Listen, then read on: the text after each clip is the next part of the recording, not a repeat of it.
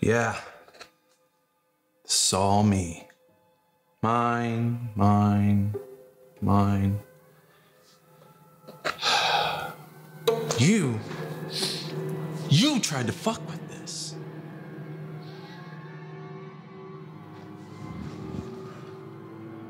And pow! You're here. Ron E. I can't have anything to do with this, Des. I, don't want to be here. You don't like my home, Ronnie? Think you're better than me? Think you're better than my home? No, no. Des, I, I didn't mean that. I just meant that. Uh-huh. You're not what?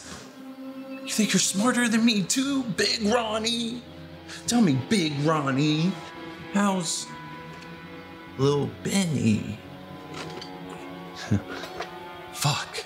Your parents were real stupid naming you two, huh? Tell you what, Ron E, you need a win. So be a winner. And I, I got a winning ticket for you. Something big. You win this. We'll leave little Benny alone. Benny had nothing to do with it, Des. Please. I. I can't. I, I just. I can't, okay?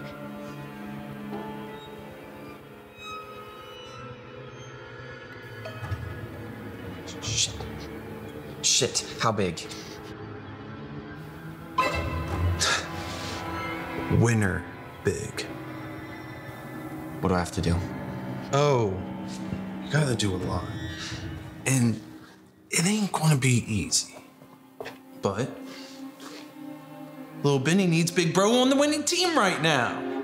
And if Big Bro can't make the cut, maybe Little Bro can pick up the pieces. And, you know, he's really starting to look like he can pick up pieces. I could switch Ben E for Ronnie. So fucking simple. Don't fucking hurt him. Ronnie, Ronnie, Ronnie the man, that's up to you. It's so simple. You move this, magic. All gone. You don't move this, then little Benny's gonna be so sad. Why? Why doesn't Big Bro love me?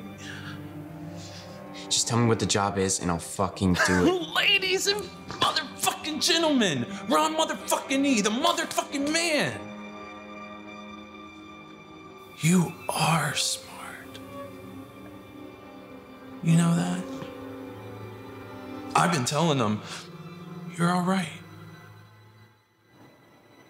Okay, Ron E. I'll tell you about the job. But first, you tell me why little Benny is so much smarter than you, huh?